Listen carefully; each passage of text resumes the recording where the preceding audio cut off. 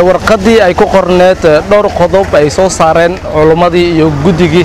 Odayaasha ee magaalada ijaara ayaa baraha bulshada ku faaftay tan magaalada mandheerana ay noqonayso mid ugu saamaynta badan ay ka dhalatay oona lagu hadal badnaa usbuucan gudihiisa. Idaacadaha ayaa laga wada dhegaysanaya sidoo kalena waxaa jiro dad badan oo ku raacsan dad badanna oo diidaya saaka ayaan mikrofoonka warbaahinta star ee la dhex qaadnay bulshada reer mandheera fikradoodana way ka dhiibteen bal qaar ka mid ayaan aan ka waraystay siday u arkaan siday u soo dhowaynayaan ayaan si weyn aan halkan ugu waraysannay kadibna waxaa noo soo baxay qof walba inuu fikir badan fikro ka duwan uu wato. Qaar waxay leeyihiin awaamiirtaas la soo jeediyey dhallinyar ahaan mandheera taas way nagu badan tahay. Qaarna waxay leeyihiin waan ku raacsannahay qaarna baaq waxay u direen culummada in ay mid taas la mid ah ay la imaadaan. Turjiyow arrintaas ayaa la soo saaray waxaana soo saaray culummada iyo sidoo kale waxaa soo saaray guddiga odayaasha magaalada ijaara waxaana la leeyahay lixdan kun oo keliya ayaa meherka ah iyo sidoo kale duunistan ay soddon kun tahay. Lixdanka kun ay u dhigmata afar qaalin oo neef oo lo ah. Marka adiga fikrad ahaan reer mandheer ahaan maxaad ka leedahay? Bismillahi raxmaan raxiim marka hore anigoo ah axmed sheekh cabdiliibaan oo ku magac axmed turji kuna nool magaalada mandheera arrintaas ee ku saabsan guurka ee xagga dhanka ijaara aan ka dhegaystanayna xalay culimmada ma garanaysaa arrintay soo maarata ay ka dhawaajiyeen. Haddaan nahay reer mandheera waan soo dhawaynaynaa aad baan ugu faraxsannahay.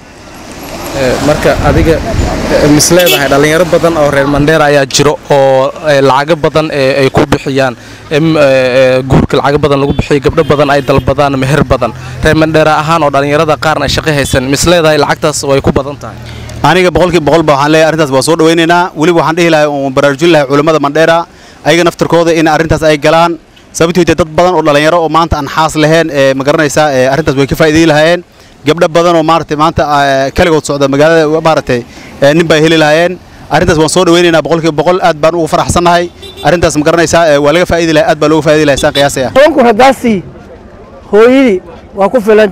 Gabadhi xinno iyo waxaan iyo dharkeedii haddii lagu guuriyo maadaama ninkii qabaaba dharka u gadi doonaaye waxaa loo baahan yahay inaa atleast hal marar rakiis oon ka badnayn shan kun aan ka badnayn in loo geliyo waa lacag badan. weeyaan. Dadki ma awoodi karaan. Waktiga hadda la joogo. Wixii kale waxyaalaha qaarkood waaba sara kaceen. Qutulyoonkii aanba la helaynin haye masruufkii dhib ku ee dadkii qofkii gabadhaas tuur waa inaan u soo shaqeeyaa waa inaan u soo dhididaa dhallinyarada qaar waxay leeyihiin ijaara ayaan aadaynaa oo waxaan ka soo macnaha gabdho fiican aan helaynaa oo lacag lacagtaas waa yartahay le. Reer mandheer ahaan fikraddaas adiga lacagtaas aadaad u badantaad leedahay.